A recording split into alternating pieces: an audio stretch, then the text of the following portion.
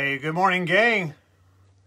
Hey, it's great to be with you this morning on this bright and crisp Monday morning. Hope you're doing well. Looking forward to our time together this morning as we continue our jet tour and this morning travel through the little three chapter letter book of Second Thessalonians. And so looking forward to our time together this morning. Well, let's let's launch right on into this study. I want to be respectful of your time, and if you want to, send a quick note to somebody you might who might want to watch this with us. But let's pray together, shall we? Father, as we come to you right now to thank you for the morning and for the time we have to be together, I pray you bless these few moments of looking into your word and taking and continuing on with this jet tour through the New Testament books of the Bible. So open this word to us, for it's in Jesus' name I pray. Amen. Well, as you recall, last Thursday we traveled through the five chapters of First Thessalonians, and providentially we actually launched into a verse by verse study of First Thessalonians on Sunday. But on Thursday, we traveled through all five chapters, and we said that when Paul finished that letter, he would have sent it to the people of Thessalonica. Now we found that in Acts 18 and verse 7, we find where Paul was at that time. Notice what we have here.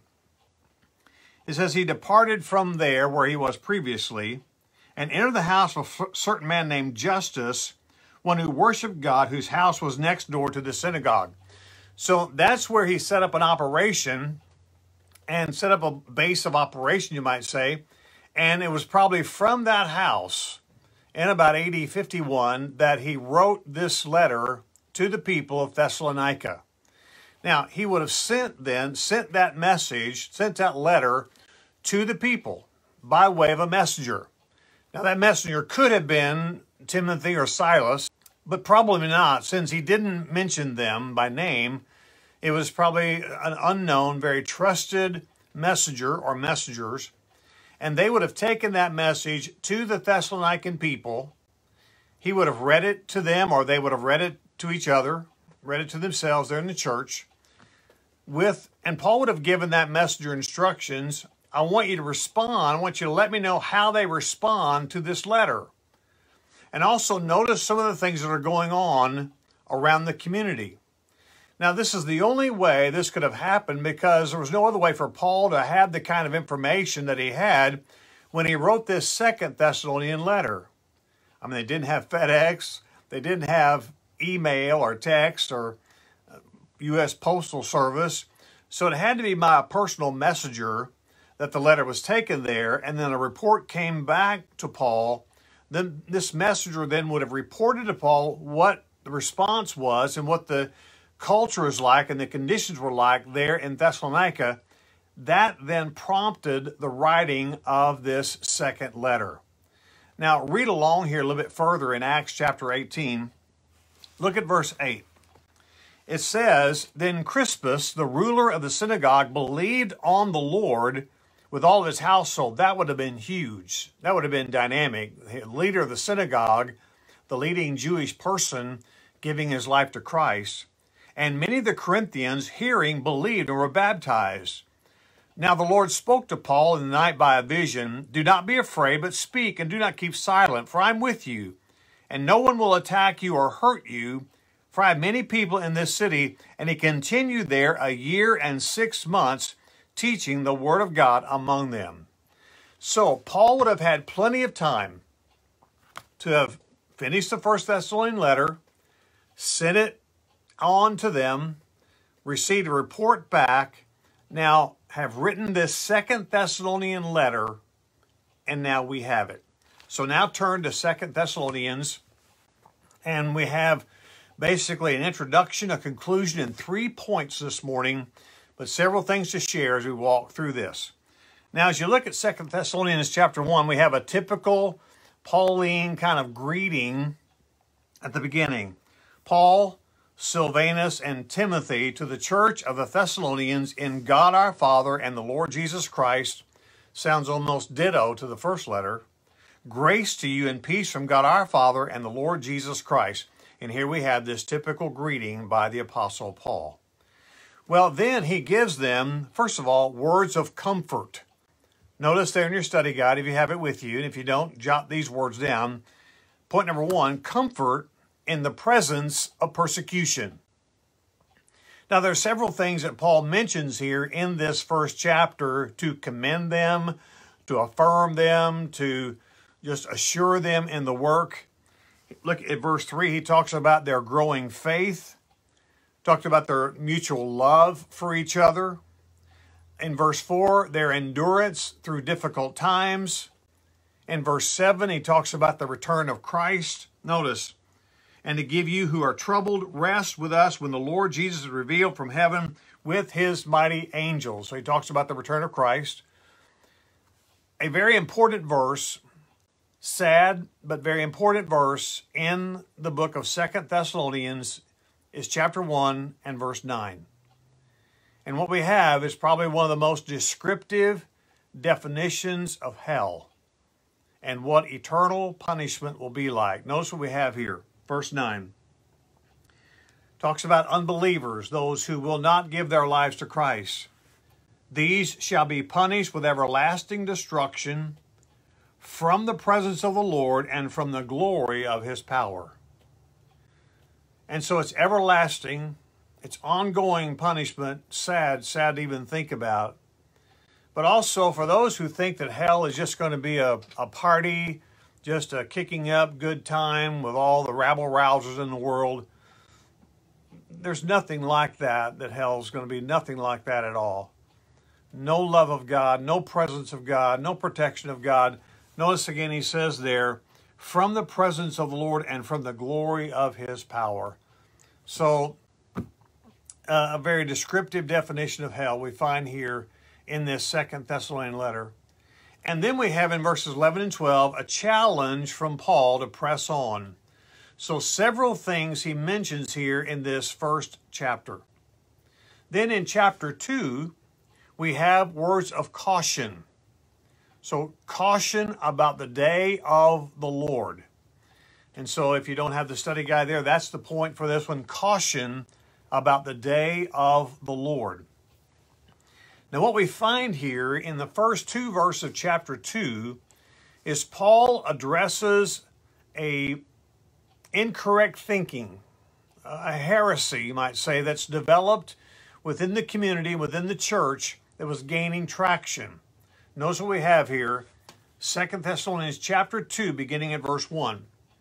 Now, brethren, concerning the coming of our Lord Jesus Christ and our gathering together to him, we ask you not to be soon shaken in mind or troubled, either by spirit or by word or by letter, as if from us, as though the day of Christ had come. Now, some of these folks were beginning to believe they had missed the return of Christ. And so Paul wants to clarify for them and to them, you've not missed it. And if if somebody sends you a letter and it's and it's it's got my name on it, I want to tell you I didn't send it. And evidently there were those who were being devious and trying to upset the church saying we got a letter from Paul and this is what he said. We've we've missed the day of Christ. We've missed his return. And Paul said I want you to understand that's not what ha- has happened. I don't want you to be soon shaken. I don't want you to fr- be frustrated about this that is not what has happened. And so he, he talks about that. If you look at the bottom of your study guide, I give you some notation there about the way to think about the day of Christ and the day of the Lord. And different translations will translate that second verse, day of Christ, day of the Lord, and you see here why the interchange there and the difference of those two. So take notice of that. We'll not take the time to reread that here. He also talks about a restraining force that is allowing or at least causing, keeping might be a better word, keeping evil from becoming even more evil in the present day. And that force is still with us today. Look at verses 6 and 7. And now, uh, chapter 2, and now you know what is restraining that he may be revealed in his own time. For the mystery of lawlessness is already at work, only he who now restrains will do so until he is taken out of the way. What I believe he's talking about here, I think this is general, generally accepted by theologians. The restraining power here, the restraining force here is none other than the Holy Spirit, and it's the Holy Spirit in us. And as we live the Christian life, there is a element of restraining power that the Holy Spirit does through us. Now, when we're out of here, when the rapture happens, then obviously things are going to change rapidly. And we know about that from the seven years of the tribulation period. So we see here about the restraining force here. He talks about the second coming of Christ in verse 8. He also talks about in this second chapter, very specifically, why it is that some people will perish forever.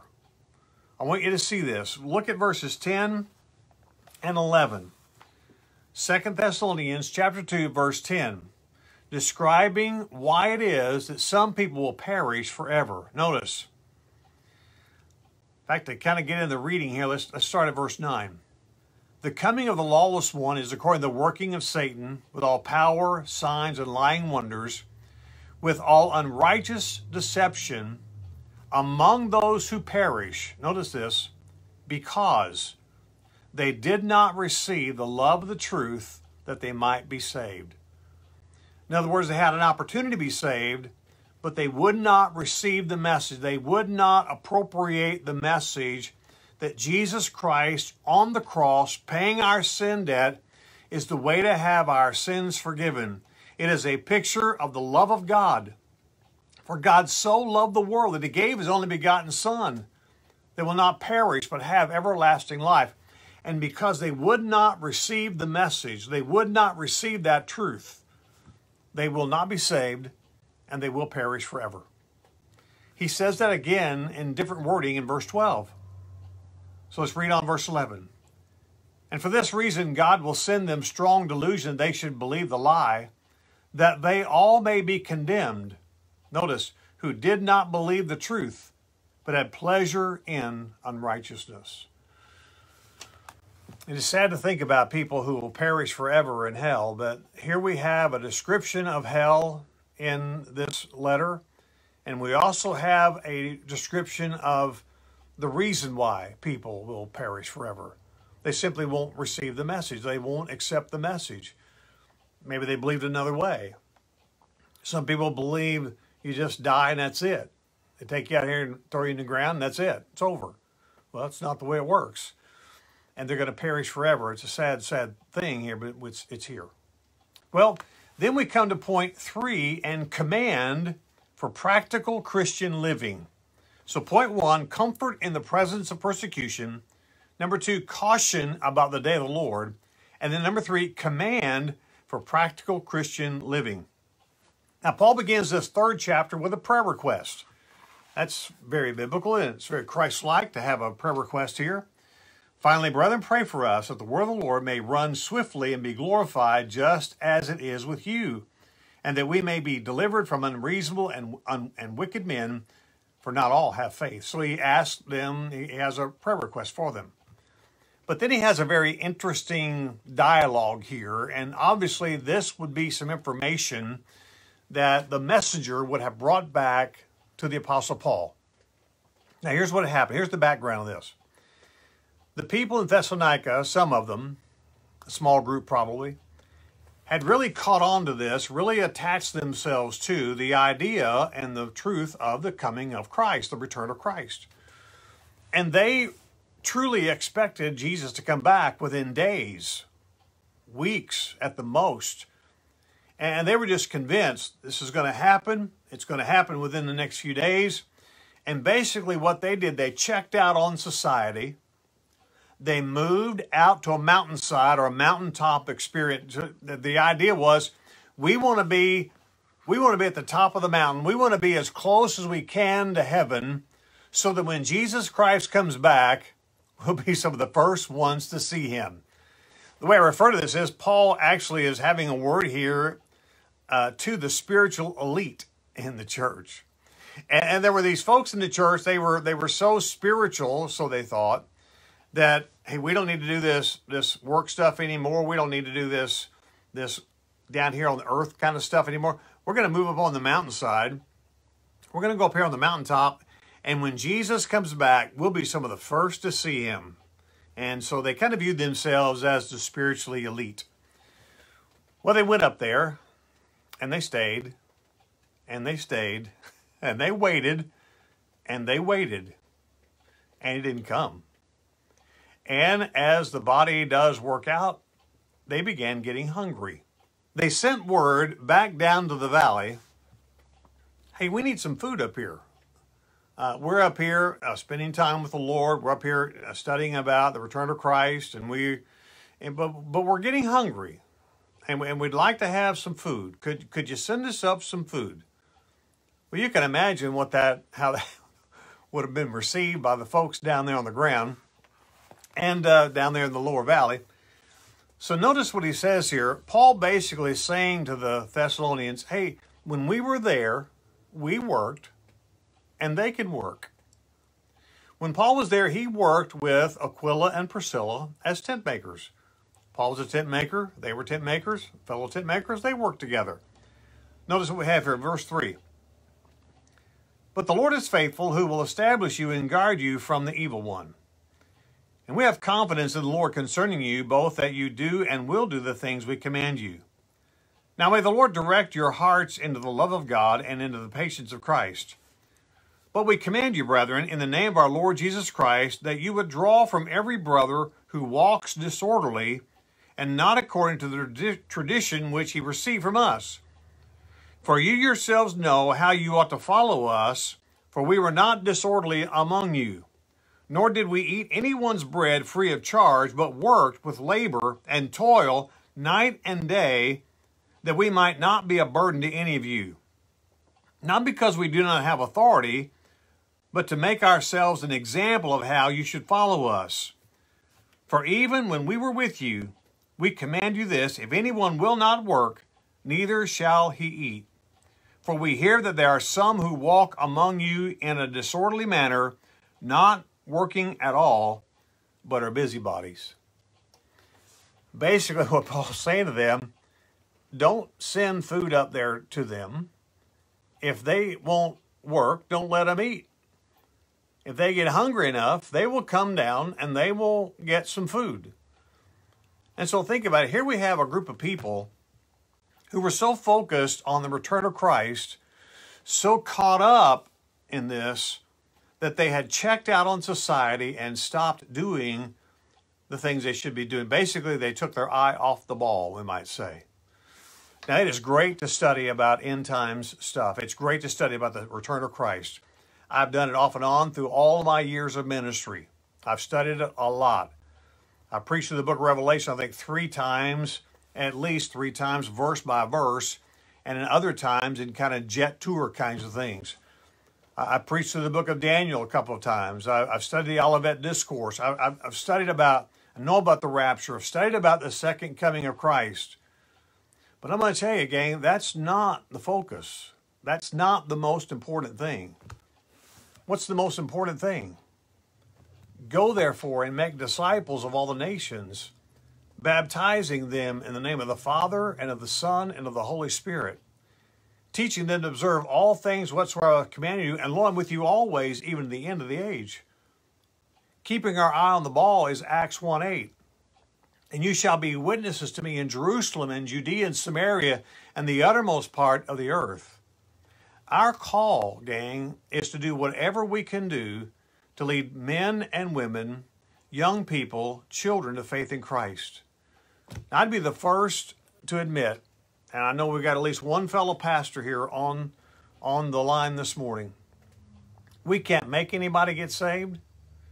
We, we could beg and plead, but we can't make them pray the prayer. We can't make them trust Christ. We can't save them ourselves. We can't walk an aisle for them. We can't be baptized for them. They must make the decision. But that is our call to take the message to them that they would be saved that they would give their lives to Christ. our job, keeping the eye on the ball, so to speak, our job is to lead people to Christ. And it's great to know about the second coming of Christ. It's great to have our eschatology all figured out. It's great to know that. But when Jesus Christ comes back, I can't imagine him asking us quizzes on did we have all our end time prophecy things all figured out? Did we have all the questions answered? I think basically he's going to find out how many people did you bring with you? How many people did you try to lead to Christ? How many times did you share your testimony and bring others to faith? I think that's going to be the thing. We, we see that in parables, we see that in the teaching of our Lord, that our call is to take that message. And so Paul is sharing a word here to these Thessalonian people.